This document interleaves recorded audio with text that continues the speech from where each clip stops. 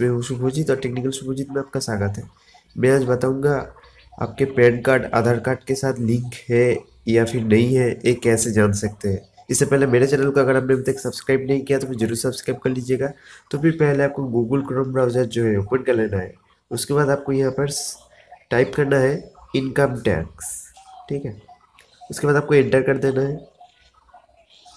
तो फिर ये पेज जो है ओपन हो जाएगा। उसके बाद आपको जो पहला नंबर पे आएगा इनकम टैक्स उस पर आपको क्लिक करना है। ठीक है? तो फिर इस तरीके से एक नया पेज जो है ओपन होगा। उसके बाद आपको क्या करना है? देख लीजिए एक्स बटन है।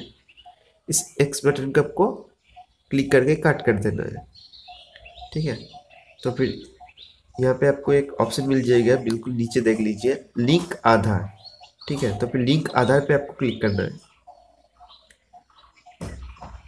तो फिर क्लिक करने के बाद आपको यहाँ पर क्लिक हेयर का एक ऑप्शन मिल रहा है। पैन कार्ड के ऊपर में देख लीजिएगा, जो ब्लिंक हो रहा है।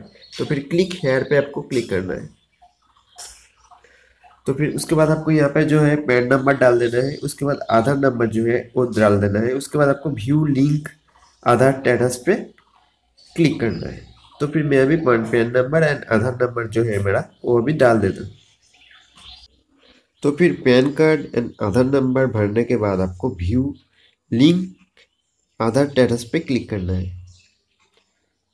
तो फिर क्लिक करने के बाद आपको इस तरीके से शो होगा। अगर आपके पैन कार्ड के साथ आधार कार्ड लिंक है तो फिर इस तरीके से आपको शो होगा। Your PAN is link to Aadhaar number. उसके बाद आपका जो आधार नंबर का जो लास्ट फोर डिजिट है, वो शो होगा। इसका मतलब है आपका पैन कार्ड, आधार कार्ड के साथ लिंक है। तो फिर वीडियो में बस इतना ही। ये वीडियो अगर आपको पसंद आया तो फिर ज़रूर लाइक कर दीजिएगा और मेरे चैनल को अगर आपने अभी तक सब्सक्राइब नहीं किया तो फिर ज़रूर सब्सक्राइब कर दीजिएगा।